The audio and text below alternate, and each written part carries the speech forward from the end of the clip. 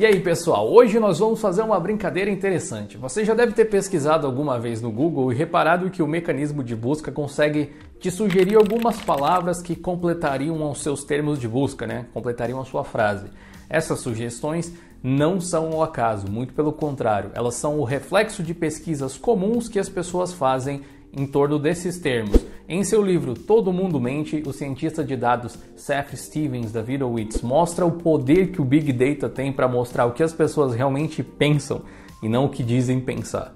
E essa não é a primeira vez que a gente faz um quadro mais ou menos nesse estilo. Em outubro de 2021, eu fiz um vídeo parecido onde nós colocamos no Google os termos por que o Linux e observando as sugestões, eu respondi todas aquelas dúvidas. Hoje vamos fazer o mesmo, mas com um termo diferente e você vai ver o quanto a inclusão ou a exclusão de uma simples letra pode mudar totalmente o tipo das dúvidas que aparecem. Esse vídeo chega até você com o apoio da Tribe, que é uma parceira nossa aqui de longa data já, uma escola de programação e está com vagas abertas para a próxima turma. Se você está querendo aprender a programar, entender um pouco mais sobre como funciona esse universo, com a opção de poder começar a pagar pelo seu curso, depois de já estar trabalhando, sendo que a Tribe mesmo se compromete em te ajudar a conseguir emprego com as empresas parceiras que eles têm, você precisa dar uma conferida no link que eu vou deixar aqui na descrição. Hoje, 9 em cada 10 pessoas que se formaram na Tribe estão trabalhando e até 3 meses depois da formatura, um número muito bom. E olha que, segundo uma pesquisa da Brascom, até 2025 deve aparecer quase 800 mil vagas no setor de tecnologia. Quem sabe uma dessas vagas pode ser sua. Dessa vez, ao invés da gente escrever por que o Linux, vamos escrever por que Linux. E olha só quanta coisa diferente, né? À primeira vista, o grande problema é que de largada as pessoas não entendem o que de fato é Linux. Se entendessem, talvez não fizessem essas perguntas, mas para sua sorte, nós temos um vídeo aqui no canal que explica isso. Porque se a gente partir dessa premissa de que eles não estão fazendo a pergunta certa, Praticamente nenhuma dessas perguntas tem uma argumentação lógica e factual, mas vamos relevar essa questão pelo bem das explicações. A primeira pergunta, o primeiro termo é por que Linux é tão ruim? e linguisticamente nós temos uma ênfase ali, percebeu? Não é apenas ruim, é tão ruim. Pensa comigo, por que você pesquisaria algo com esse viés se você já não tivesse a conclusão na sua cabeça de que Linux é ruim? Ou seja, muito provavelmente, quem pesquisa dessa forma quer dizer que Linux é ruim para as outras pessoas ou quer se convencer, só está procurando os motivos. Linux é um kernel, mas acima de tudo ele pode ser considerado uma ferramenta que é utilizada para criar ou manejar outras coisas, outras tecnologias. Assim como um alicate é uma ferramenta também e pode ser usada para criar ou manejar outras coisas e aparentemente ninguém pesquisa por que alicate é tão ruim. a segunda pesquisa é meio que o oposto da primeira, você percebeu? Mas tem um twistzinho. Quem pesquisa isso pode ter ouvido falar exatamente isso, que Linux é melhor do que o Windows e quer saber o porquê, ou quer simplesmente encontrar motivos para dizer que Linux é melhor do que o Windows. Ou já se convenceu de alguma forma de que Linux é melhor do que o Windows e está procurando argumentos para poder debater aí nas internets afora. A problemática, se for o segundo caso, é a mesma da primeira pergunta. As conclusões vêm antes das evidências. E como diria o Richard Feynman, eu prefiro ter questões que não podem ser respondidas do que respostas que não podem ser questionadas. Por que Linux é melhor que o Windows é como uma pesquisa sobre por que alicate é melhor que martelo. São duas ferramentas com propósitos diferentes as duas podem servir para você bater um prego, quem sabe, mas só o alicate vai conseguir segurar as coisas, ou sei lá, girar um parafuso ou uma porca com maior precisão. E só o martelo vai conseguir arrancar o prego com facilidade. Não existe um sistema operacional melhor, eles servem para fazer coisas. Geralmente você vai poder fazer as mesmas coisas com os dois sistemas, considerando que você entenda Linux como distros e não como o kernel, claro. Eventualmente um deles vai se sair melhor em alguma tarefa específica. Existe muita coisa a se considerar, o que torna a resposta bem relativa. Mas uma pergunta mais justa e que provavelmente teria algo mais parecido com uma resposta de verdade seria questionar qual das duas tecnologias seria uma melhor solução para algum problema específico. Aí você poderia listar os prós e contras e tomar uma decisão baseada em lógica, coerente. E claro, esse pensamento lógico não serve apenas para essa situação, se você pensar bem, né? A próxima é um singelo por que Linux? Que pode ser interpretado como uma pergunta: por que Linux? E sem saber exatamente se a intenção da pesquisa era essa, a gente pode questionar: por que não? a próxima pergunta é mais direta: por que Linux foi criado? E felizmente, essa tem uma resposta simples que não depende nem de lógica nem de retórica. Linux foi criado porque o seu criador, Linus Torvalds, queria um sistema operacional para poder estudar sem precisar arcar com os altos custos envolvidos em ter um computador com um sistema operacional Unix na época que ele estava na faculdade.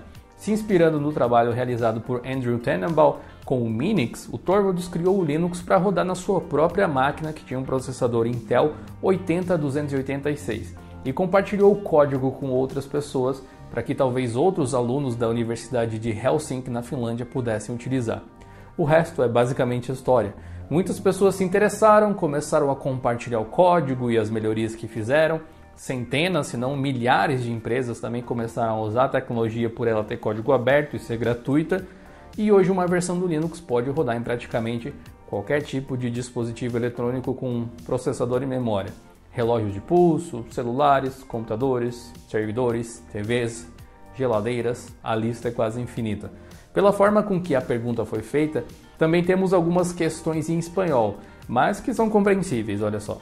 Por que o Linux é grátis? Bom, ele é grátis porque o Linus Torvalds nunca quis cobrar por ele, e grande parte da sua adoção também se deve a esse fato.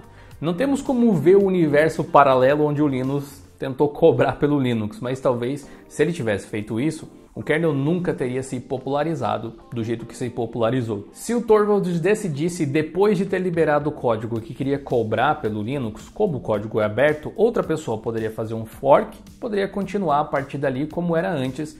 Então é um modelo de negócios meio que frágil, além de existir um certo ethos de não cobrar por software livre. Isso é algo imaginário, claro, mas paradoxalmente existe. Por esse motivo, o mundo de softwares open source cresceu em torno de serviços. Ao invés de você cobrar pela maçã, você dá a maçã na feira, mas vende a faca para as pessoas descascarem. Apesar do software Linux não ter um custo, a marca Linux, o nome e o logo são propriedades do Linus Torvalds e teoricamente qualquer pessoa que queira usá-la deveria pedir a sua permissão.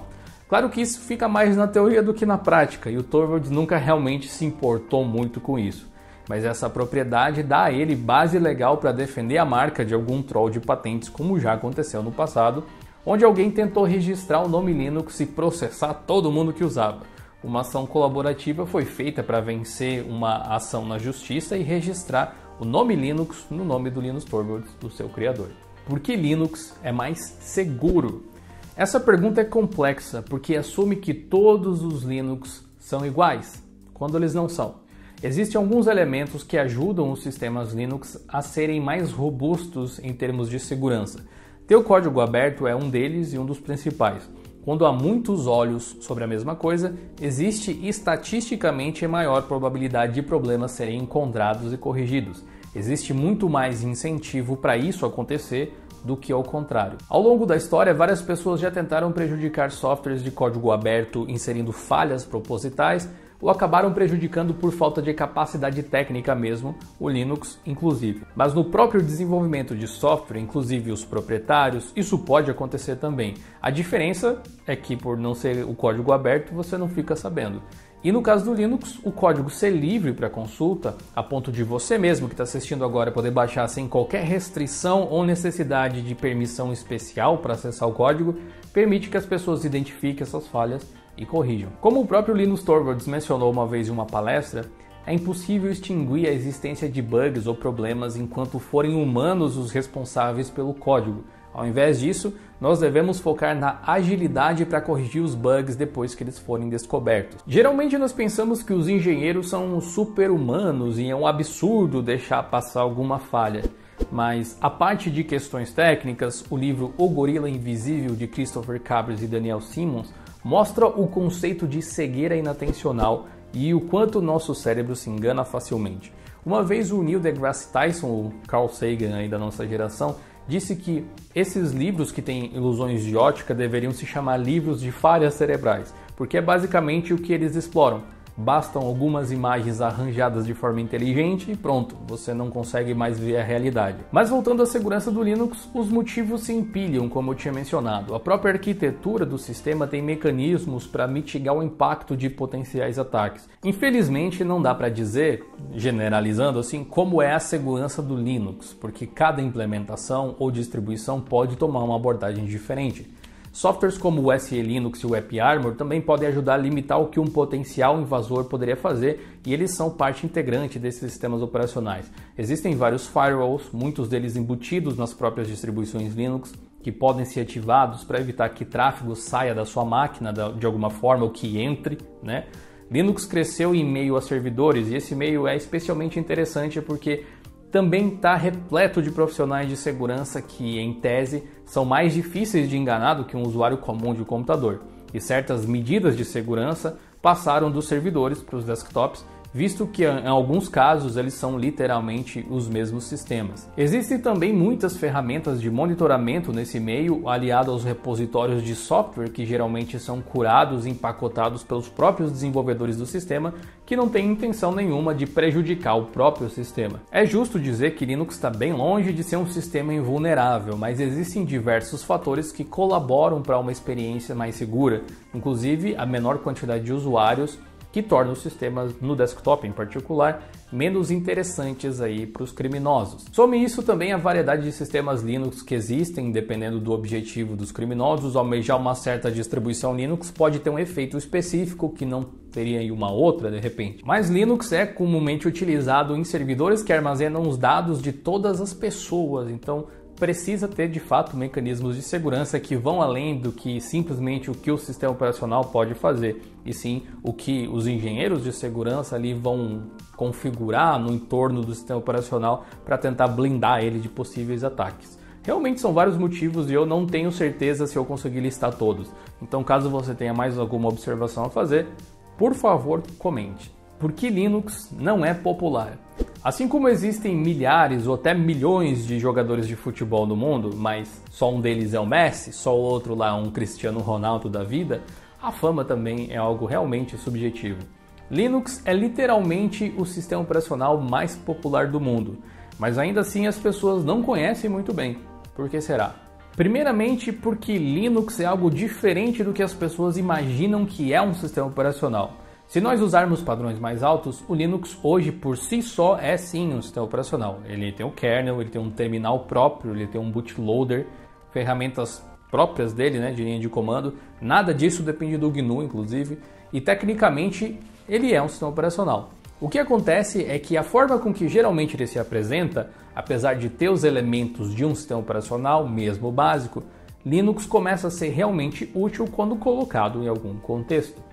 Se você roda serviços em alguma plataforma cloud, tipo Amazon, Google, Oracle ou até o Azure da Microsoft, chances são grandes de que você está rodando aí o seu negócio em cima de um sistema Linux.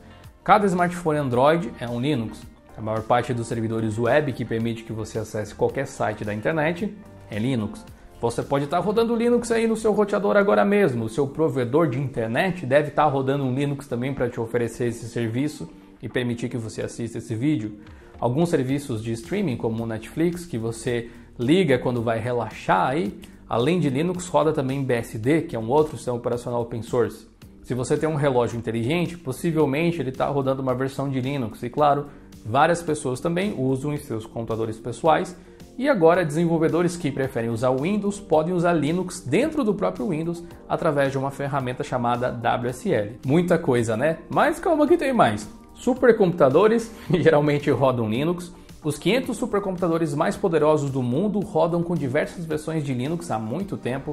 É, carros inteligentes, motos inteligentes, smart TVs, muitos projetos da NASA rodam ou são controlados por Linux, como os rovers que exploram a superfície de Marte, máquinas de lavar roupa, Chromebooks também, por que não? E eu poderia ficar listando e listando dispositivos onde Linux pode ser utilizado. Linux é uma tecnologia extremamente popular, mas ele está por trás de muita coisa que as pessoas utilizam. Ele não é muito falado pelos usuários domésticos. Ele não é também o sistema mais popular em desktops e laptops. Isso pode causar essa impressão. Mas em todo o resto, que falando assim parece pouca coisa, mas não é, existe uma grande adoção de Linux é, de fato. Se for parar para pensar em tecnologias para usuários comuns, como os smartphones, o nome Linux não aparece tanto, porque o sistema construído com ele, o Android, tem outro nome, Android. Do mesmo jeito que o Darwin, kernel do macOS, não é um fator de marketing, geralmente nas apresentações da Apple. Eu diria que o principal motivo para a baixa popularidade no desktop é simplesmente a não existência de uma empresa que criou uma solução para esse nicho de mercado usando o Linux e ela tenha sido bem sucedida aí no seu marketing, nas suas estratégias de mercado e tal que não é nada simples de fato. Mas o Google tem conseguido gerar um pouco de atrito, né, de barulho aí com os Chromebooks e o Chrome OS, que também é um Linux. Por que Linux não tem vírus? Nós já falamos sobre a questão de segurança antes, então nós não precisamos nos repetir aqui. Mesmo assim, existem sim vírus para Linux. Eles são raros a ponto de virar notícia quando acontece e afeta alguém, mas eles existem. Ataques de engenharia social e phishing têm muito pouco a ver com o sistema operacional que você usa. Não use Linux como uma muleta para você vacilar na sua segurança, porque Linux é melhor para programar. Nós temos um vídeo recente aqui no canal onde vários programadores contam qual sistema operacional eles usam para escrever os seus códigos. E boa parte deles não usa Linux como você viu ao menos não diretamente, mas usam ou servidores Linux ou usam o WSL quando usam Windows geralmente. Ou seja, na prática, todos usam Linux em algum momento, de forma direta ou indireta. Dizer que é melhor para programar é uma definição tão absoluta assim que eu prefiro não fazer. Mas sim, é um ótimo sistema para programar, mas os motivos se misturam entre coisas práticas e técnicas envolvidas ou não com programação que podem ser vantagens para outros campos também, não só para quem é developer. Linux geralmente é gratuito. Nada melhor do que começar a estudar e trabalhar sem precisar se preocupar com licenças ou um preço muito elevado aí para você ter um computador operacional. E falando nisso, computadores uh, mais fracos rodando Linux conseguem lidar bem também com as ferramentas, o que aumenta a acessibilidade mais uma vez. Os principais editores de texto e bibliotecas de software costumam ter versões para Linux, as exceções são coisas específicas para outros sistemas, como no caso de você desenvolver games usando alguma engine em particular ou alguma tecnologia Microsoft, que talvez aí seja melhor programar usando Windows, ou caso você trabalhe com iOS, talvez seja melhor programar usando macOS mas que ainda assim é possível fazer no Linux algumas coisas caso as pessoas desejem. Por ser open source e por você ter a possibilidade de modificar muito do comportamento do sistema, os programadores costumam gostar de usar Linux por essa portabilidade, maleabilidade, pelo desempenho, né, customização, entre outras coisas. Eu não acharia correto afirmar que seria o melhor para programar, porque depende do caso, mas sem dúvida é uma das melhores opções em grande parte das situações. Qual termo de pesquisa você gostaria de ver da próxima vez que a gente fizesse esse quadro? Se você ainda não viu o primeiro episódio, clique aqui no vídeo do lado para você acompanhar um pouco mais. é impressionante parar para pensar nessas pesquisas e principalmente nos é, significados por trás dela. Eu preciso parar de ler esses livros de psicologia.